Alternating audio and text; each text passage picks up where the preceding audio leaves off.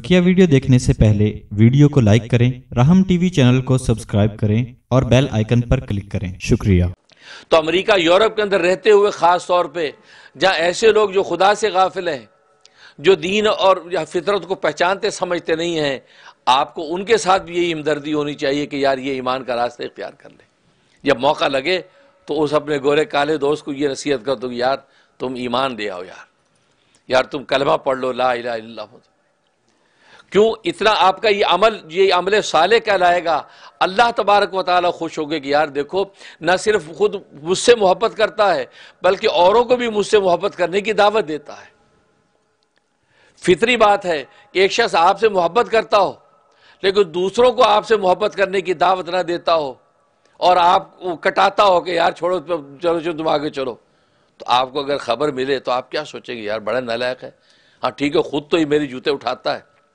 खुद तो मेरे साथ चिपका हुआ है, मुझसे मोहब्बत करता है, हर चीज़ की फ़िक्र। लेकिन औरों को करीब नहीं लगने देता। औरों को बल्कि जो आँख मार के खिसकाता कि भाई दूर रहो, हज़रत साहब के पास नहीं आना। तो क्या आप क्या हज़रत साहब खुश हो वो कहेंगे, यार, बड़ा नलायक है, ये बंदे तोड़ रहा है हमसे। खुद ही बस, जो है वो चिपका हुआ हमारे साथ। खुद हमारा मुखलिस, लेकिन दूसरों को जुड़ने नहीं देता। तो आप उसमें क्या जज्बात रखते हैं? हाँ लेकिन अगर सुने कि नहीं, औरों को भी कहता है कि, यार, आओ यार वहाँ। यार, हमारे महबूब से तुम भी मोहब्बत करो। यार, उससे ये सीखो। यार, उससे तो उस, वो जो उस्ताद जब सोचेगा, वो खुश होगा, यार, देखो, औरों को भी हमसे मोहब्बत की दावत देता तो बिल्कुल इसी तरीके से जो मुबलिक बन के इनको दीन इस्लाम की दावत भी देता है, ला इला की तोहहीद का पैगाम भी पहुँचाता है मोहम्मद रसूलुल्लाह सल्लल्लाहु अलैहि वसल्लम की रिसालत का जो है, वो पैगाम भी पहुँचाता है। तो अल्लाह तबारक वाल उस बंदे से खुश होते हैं कि यार, ये ना सिर्फ़ मेरा मोमिन बंदा है, मेरा मुखलिस है, बल्कि औरों को भी मेरे इस ईमान इबादत के अंदर जोड़ता है। भले उसमें कामयाब ना हो, भले वो आपके कहने पे कोई कलमा ना पड़े, लेकिन अल्लाह तबारक व ताली की आपकी क्रेडिबिलिटी बन गई कि यार, ये बंदा अच्छा है यार देखो दूसरों को भी ईमान के रास्ते की दावत देता है। तभी तो हदीस में आता है, आपकी इस दावत देने पर एक भी शख्स इस्लाम ले आए, मुसलमान हो गया तो फरमाया कि वो आपके लिए कितना कीमती है?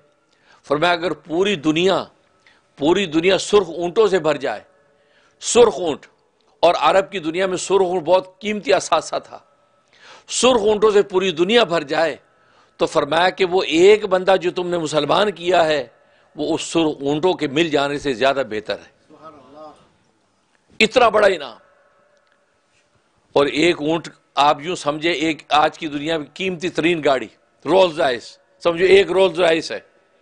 अब पूरी दुनिया रोल्स राइस से भर जाए, वो आपको मिले।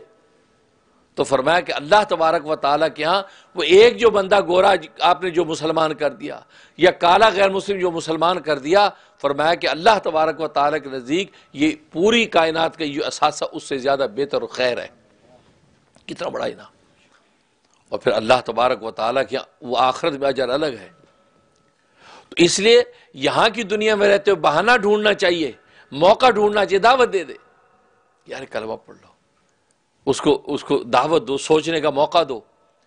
इससे क्या होगा कि वो आपको वतावास और बिलहक का तकाजा पूरा होगा कि ये एक दूसरे को हक की तलकीन और ताकीद भी करते हैं।